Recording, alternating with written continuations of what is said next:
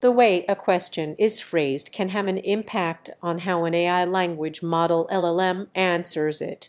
The LLM takes into consideration the words and context used in the question to generate a response.